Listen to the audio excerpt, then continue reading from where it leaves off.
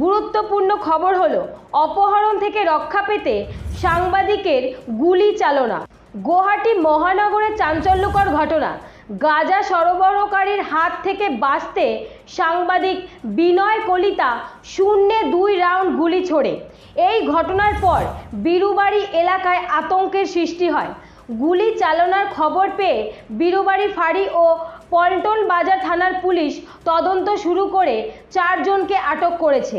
সাংবাদিক বিনয় কলিতা জানান বিরুবাড়িতে গাঁজা ছাড়াও বহু নিষিদ্ধ সামগ্রীর ব্যবসা চলে। এই নিয়ে অনেকেই বেশ কয়েকবার আপত্তি করেছেন। তারপরেও সরবরাহকারীরা পাহাড়ে লুকিয়ে থেকে ব্যবসা চালিয়ে যাচ্ছে। চার দিন আগে বিরুবাড়িতে গাঁজা সরবরাহীদের বিরুদ্ধে খবর সংগ্রহ করে তা প্রচার করা হয়েছিল।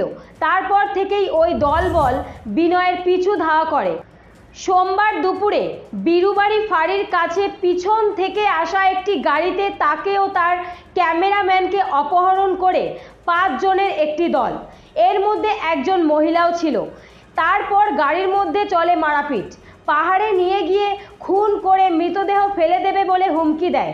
এক সময় উপায় না পেয়ে গাড়ি থেকে ঝাঁপ দিয়ে সঙ্গে থাকা পয়েন্ট থার্টি টু পিস্তল থেকে শূন্যে দুই রাউন্ড গুলি ছোড়েন তিনি। সাংবাদিকদের প্রশ্নের উত্তরে বিনয় জানান, তার কাছে দু সাল থেকেই পিস্তল রয়েছে, এর লাইসেন্সও রয়েছে। গুলি না করলে অপহরণকারীরা তাকে খুন করত বলে জানান তিনি। আপনারা দেখছেন বরাকের খবর যে ওয়ার্ল্ড নিউজ থেকে। আপনারা আমাদের এই চ্যানেলটিকে সাবস্ক্রাইব করে সঙ্গে থাকুন। ধন্যবাদ।